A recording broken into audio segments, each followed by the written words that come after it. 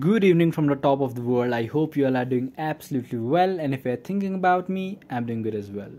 In this video, I'll teach you guys how to scan multiple pieces on CamScanner if you didn't already know about this feature.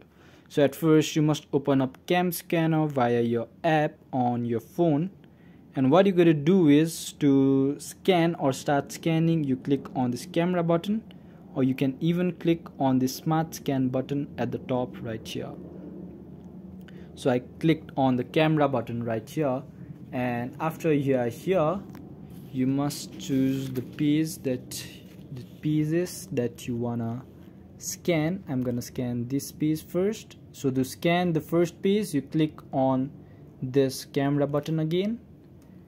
And after you click on next after cropping everything you'd like you click on next. And if you wanted BNW you click BNW or if original original or if magic color anything you'd like. So you I'm gonna click on BNW because I like that. And after you are done with everything you click on the right and you are done. So this is the first piece and now you want to scan second piece again.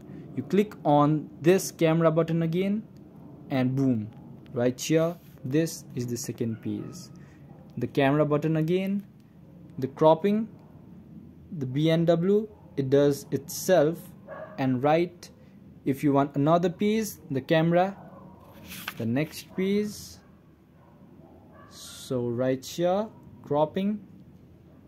So you guys get the gist or the idea what I'm talking about and how you can scan multiple pieces on CamScanner so I believe I've taught you guys how to scan multiple pieces on CamScanner and if you guys learned something today or found this video helpful please do leave a thumbs up below and comment down what you'd like to see next.